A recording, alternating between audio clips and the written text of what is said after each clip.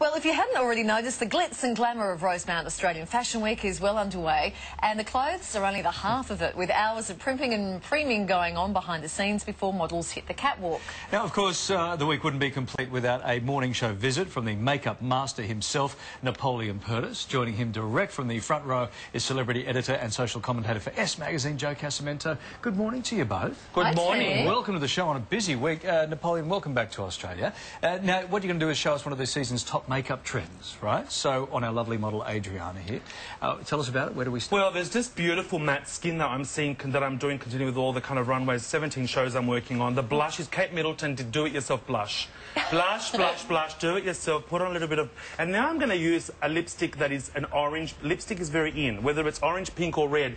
But I'm going to use an orange one, which is very much influenced by the Karla Spetic show. And I just love the way it's very luxurious and just kind of adds to the whole simplicity of the look, but still very evening and ready to go from day to dinner. And that's, that's what I love about this look. Nothing skin, a little bit of blush, and then lipstick. Day to dinner, you go. Day to dinner. Joe, what's the best way to pair this makeup with the runway trends that we've seen so far this well, week? Well, I think what I'm noticing a lot of is, is this pop of colour, which is coming out in the lips there. It's definitely a little bit of neon, I've noticed, a little bit of yellow or a hot pink. Mm. A lot of the shows just have a little bit of elastic on the shoe or, you know, a, a bright accessory, and that's what's coming across. I mean, obviously, what we see on the catwalk is uh, has got to be democratised for for the everyday yeah. person uh, to break it down. I mean, I don't know that we could all get around in the really short shorts that are on the catwalk. You know you the, want uh, to, Joe. I mean, I would love to. you want to? In another life. All right, but, okay. Yes. So, Napoleon, um, you did the uh, makeup for designer Alex Perry, made some headlines during the week for his colourful collection, right?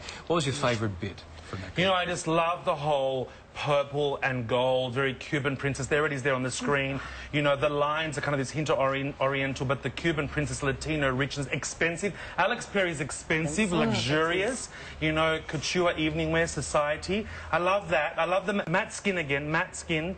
Uh, paring down the lips when you've got more dramatic eyes. So, you know, on the model here we have, on Adriana, we have the orange lips, nude eyes. Mm -hmm. On Alex Perry it was strong eyes, nude lips, you know, so I love that. So you don't do both? No, I wouldn't Definitely do both. Do. No, mm. Can and I I've used the white eyeliner inside. Look how beautiful that is. I did notice that. Loved that. Can I ask with that one we just saw from Alex Perry? Would, yes. you, wear that, would you actually or I think you have to translate it. I don't think you can obviously do the full extent that Napoleon has done here, yeah. but you can add a little bit of purple under the eye or a bit of eyeliner, a bit of... So I can see Carly bit. doing that yes. for the opening night of Avatar 2. I have two rules for ladies out there.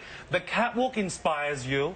When you take a little bit of colour, dab it on as a wash, leave it on for 12 minutes. Mm. Once you go past that 10 minute mark, you're like, I feel okay. And then you can maybe leave it on at that. If you want to get a little bit more daring, you pump it up. But yeah. just take the colours, wear them in with everything in a little bit. Only little doses. Okay, well, you had some killer lashes too, didn't you? For, Amazing. That was for the Close Sabatini? With Sabatini, love 20 year anniversary for Margie yeah. and Sabatini. Love these. I've got a, a, human hair lashes that have been stuck wow. onto the lashes there that gives this luxury richness. I just, look how beautiful that eye looks. It just looks instant. And you can, again, people are wearing lashes to work now. Yep. Um, but you can also just wear it going out in the evening. And if you do nothing else other than a lash and gloss, you're kind of done. Yeah. Love it. Uh, can we do those lips at home though? They're, they're quite bright. Well, you know what? You can just put a bit on your on your finger and just tap it on, and yeah. then it's a stain, and then, and then you pump it up in the evening. Yeah. Right. Could you leave me some of that because I would like to put that on Carly in the next commercial break. okay, good. I want you to. Thanks, neon Joe. magic there. Thanks, Thank Napoleon. You guys. Thank you. All right, and for Napoleon's commentary on Fashion Week, just grab a copy of the Sun Herald's S magazine this Sunday with Napoleon on the cover. You won't be able to miss that. Thanks, guys. Good to see you. Just ahead, find out why Piers Morgan was tweeting about the morning show. Yeah, an exclusive